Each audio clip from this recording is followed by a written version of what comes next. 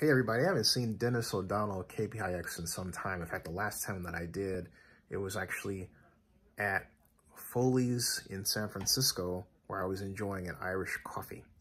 And that was about, I think, five years ago. But I texted him a number of times on different matters, but haven't heard from him over a year or two, two years.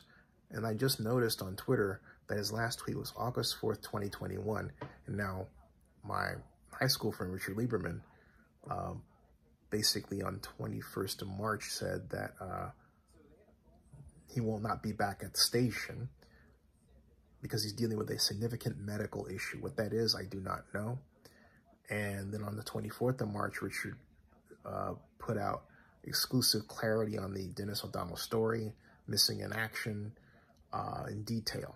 Um, so, uh, and the detail basically is that he has a right to privacy um, and that uh, he, um, the source told him that KPIX continued to pay him or continues to pay him a health coverage and so he can receive a doctor's care.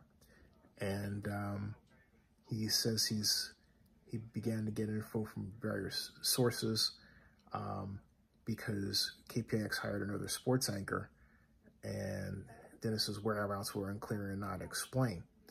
Um, and so, um,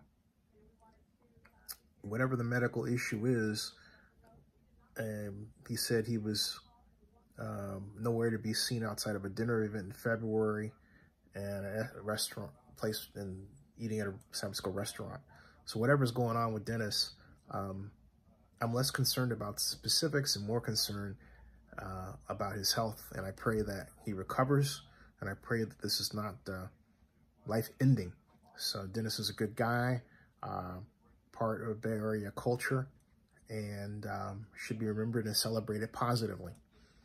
Subscribe to Zennie62 and bookmark oaklandnewsnow.com.